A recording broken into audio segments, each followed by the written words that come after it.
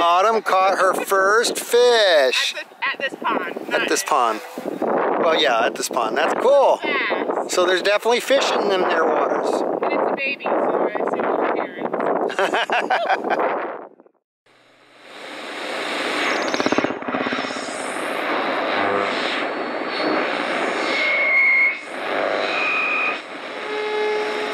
Today we are gonna go fishing and I'm not much into fishing. So I am taking my little portable radio and this is gonna be my first day of trying to set up portable.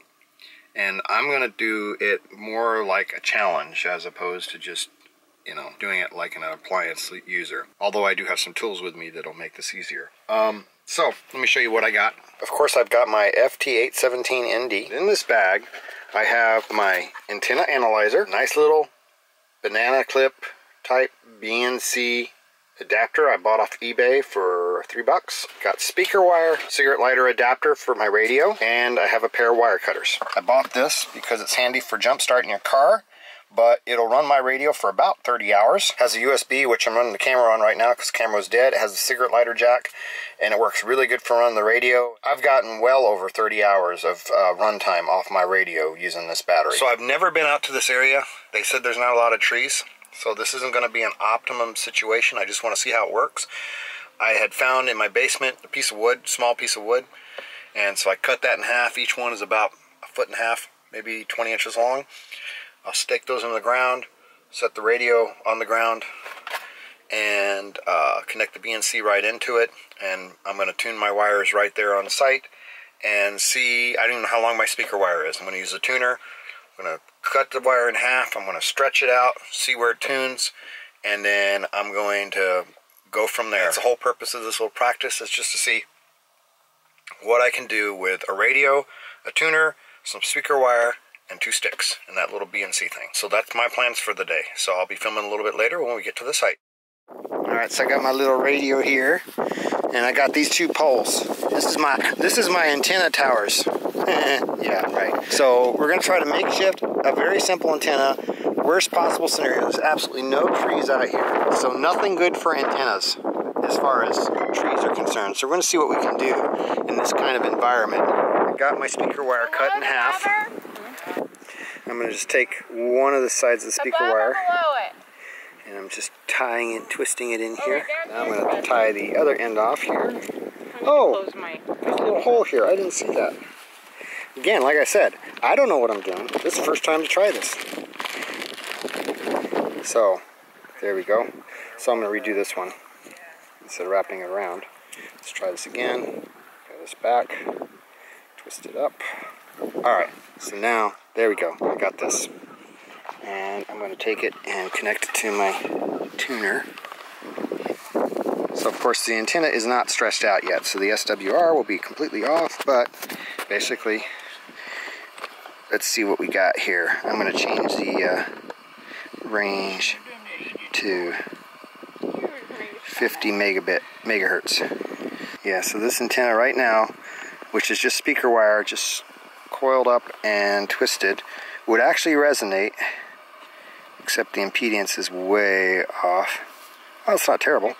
76 so it's a six meter right now the way it's all strung up is a six meter antenna. Of course you'll see this change as I spread it out here. Um, so I'm going to go ahead and put the stakes in right here and I'll come back and we'll have the wire strung out as far as it goes and we'll see what it resonates at then. There we go. So that's here's my makeshift antenna. Let's see what kind of noise level we have. Now, HF doesn't really care as far as height, as far as, because it's not line of sight. However, you're supposed to have it above ground a certain difference distance because of the, the size of the frequency, of course. And of course, this is way too low to really be worth anything, but we're to try it. Yeah. So I'm going to tune it in. I'm going to do the same thing. Let's increase the width. Okay, so got it all the way out showing 50 megahertz. And we're gonna scroll back to here. I guess I them both ways, I don't know. When I do this, they turn. Let's zoom in. Oh, Alright. Alright, so right now we are 1.7 with the impedance of 81. So that's where we're at right now. Um, but the SWR is 1.7. So that's too long to be at anything that I can do anything with, I think. Let's just see what we can hear. Go ahead and do that. Let's just take this off before I cut anything. So I got this at 5,000. Talking on it. It's probably some kind of beacon. Don't know. Let's keep going.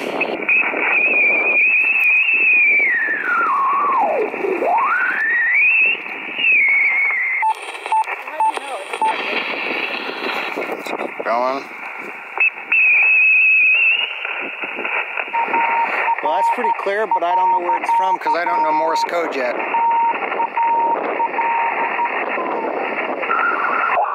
I might have gave it too long, but uh, I wonder what your radio that you got the preamp on. I guess the preamp would be uh, Andre on this little thing. but anyway, um, KG9 Oscar. Oh, by the way, uh, Indiana, you enjoyed it. KG9 Oscar from KA0 Sugar Charlie Mike. Okay, Bill from KG9.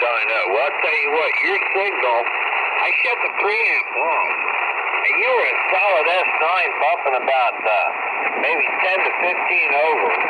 And uh, and then that this last transmission, the propagation is not real well. This is an ICOM 706 Mark 2G. It's a little mobile rig.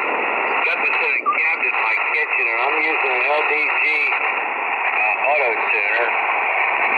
So this is exciting, but I'm not going to cut the antenna yet. When I get home, I'll look these call signs up and see where they're at. I have a feeling they're probably pretty local, but we'll find out when we get home. So what I'm going to do here is um, I'll probably cut this for 20 meter uh, because I don't know off the top of my hand, off the top of my head, what is allowed for my class as a general class in, in 40. Um, but I do know what I'm allowed in 20 meter because I've been working at lately.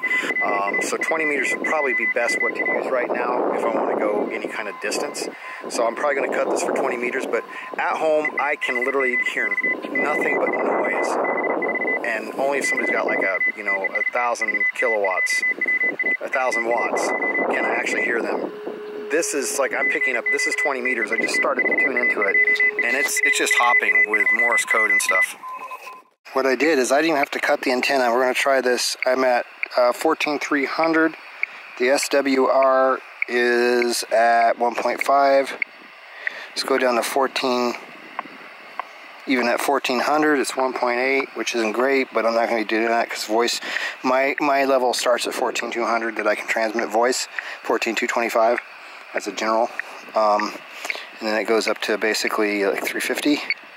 So as you can see, it's 1.5 between 200 and 400. So um, the impedance is 73. And so all I did was we'll disconnect this. And we're going to turn my analyzer off. I did not even have to, I just walked off approximately 16 feet on each side to get a start. And then I just rolled it up on the stick.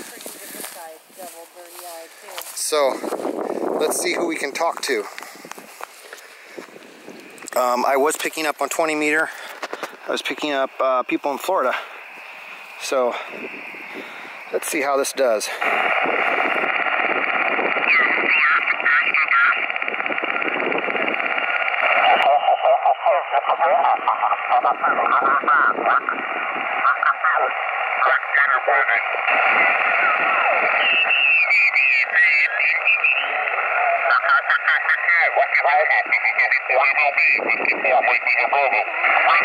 Alpha again, please.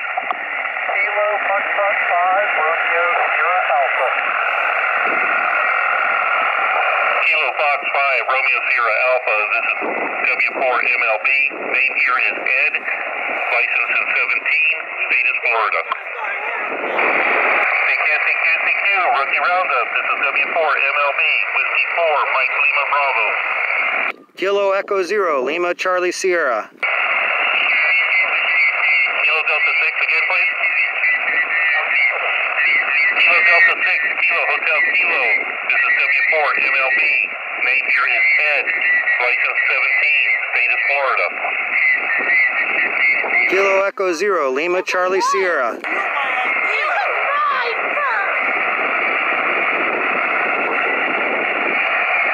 Kilo Echo Zero, again please. Lima Charlie Sierra.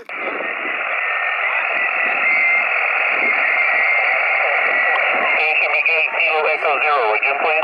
Kilo Echo Zero, Lima Charlie Sierra.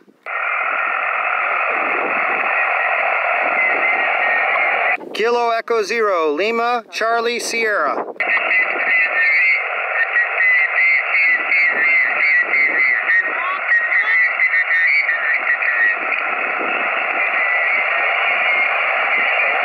Kilo Echo Zero, negative contact uh, due to QSB.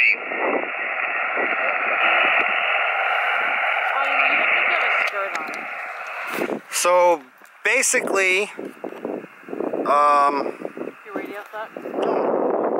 my antenna sucks. Uh, so basically, I can pick up quite a bit. You? You kind of heard me as you saw there. Uh, I'm going to actually cut this for 20 meters instead of wrapping it up and see if that has any impact.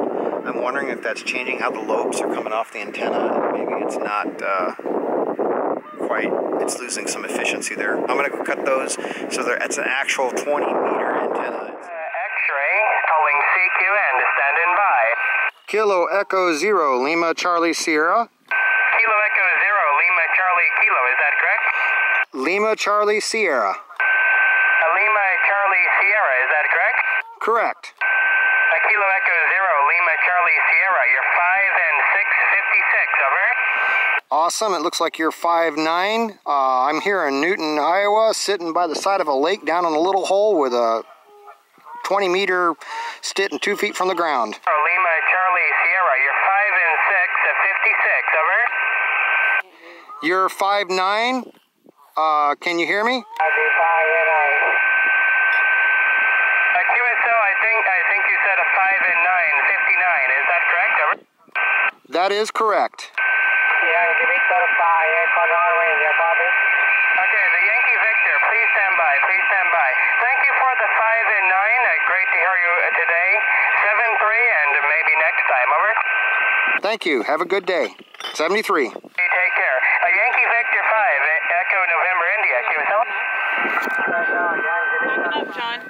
Okay, so uh, we'll have to look up and see where he was at. Did he say where he was at? Okay, so we'll go home and look and see where he was at. Um, there was a lot of noise, uh, but it's the first contact I made, and this is after I cut the antenna to actually being 20 meter and not rolled up. It did seem to change how it was picking up things. Uh, I started getting stuff from Maine, which I wasn't getting at all before. Uh, it seemed like I was hearing different people. Uh, so apparently, it did change how the, the, the lobes are on the magnetic field and such, which I don't quite understand yet on far as antennas. But wrapping it or cutting it did have a variation. Um, but uh, so I did make a contact with this little makeshift uh, antenna here, about uh, two feet off the ground. Some people are going to be concerned about the fact that I'm so close to the antenna, but this is a 5 watt radio, and if I use the antenna that actually came from the ma- manufacturer for 6 meter and 2 meter, I mean it's like it's it's a portable radio. You're you're going to have the antenna close to you. Um, when this antenna was, it didn't even burn me when I was transmitting on it. Uh, touching it didn't even burn me when I was transmitting on it. So I don't think I have to worry about getting irradiated with the wattage on this antenna being as close as it is. tried to kill us. So yeah, I tried to kill you. Anyway, it worked. Um, it has to be cut to it to actually even attempt to contact anybody. Um, so we're packing up for the day, and uh, 73 KE0 LCS. Stop mocking me. Sorry.